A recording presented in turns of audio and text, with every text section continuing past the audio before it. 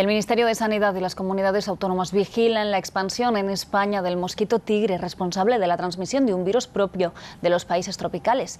Ayer las autoridades europeas confirmaron el primer caso en Gandía, en Valencia.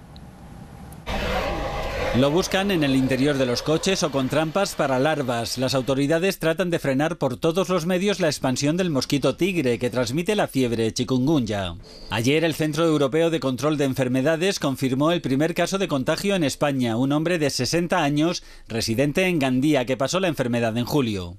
El virus se transmite por la picadura no persona a persona, produce fiebre, cefalea y dolor en las articulaciones. El tratamiento es un tratamiento sintomático para la fiebre, para los dolores musculares y desaparece por sí sola, no, no tiene apenas mortalidad.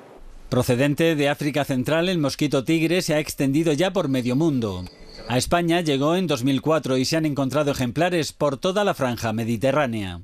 Hasta ahora en nuestro país se habían detectado 266 casos de fiebre chikungunya, la mayoría procedentes del Caribe. Este cruce entre presencia de mosquito tigre eh, extendido por nuestro territorio y cada vez la mayor afluencia de gente que viaja a zonas endémicas donde puede contraer esta enfermedad, pues eh, son dos factores que si los juntas pues tenemos mayor probabilidad de, de que se produzcan estos casos autóctonos.